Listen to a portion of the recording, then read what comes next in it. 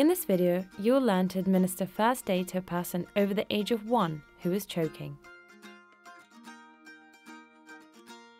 There are three possible scenarios. Scenario 1. The casualty is breathing, but with difficulty. Encourage the person to cough and don't do anything else. Coughing is the most effective way of dislodging an object. Doing anything else could worsen the situation. Scenario 2.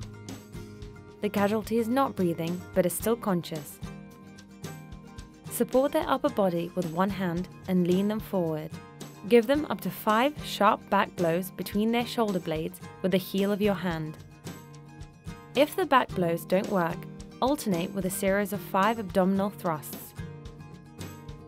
Place your hand clenched in a fist in the middle of the abdomen just below the sternum, in the hollow of their stomach.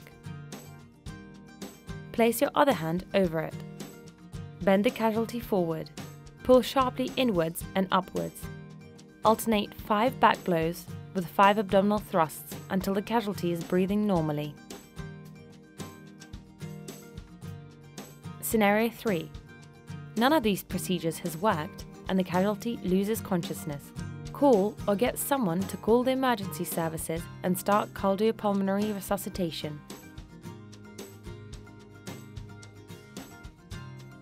Alternating 30 chest compressions with 2 rescue breaths.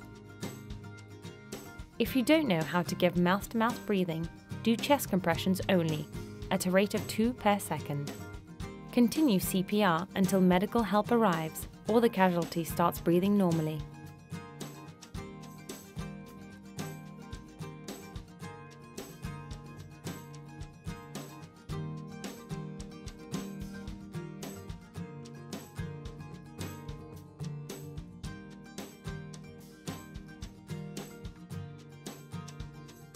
If the choking person is obese or pregnant and you're unable to grasp your hands around them to perform abdominal thrusts, you can alternate back blows with chest thrusts.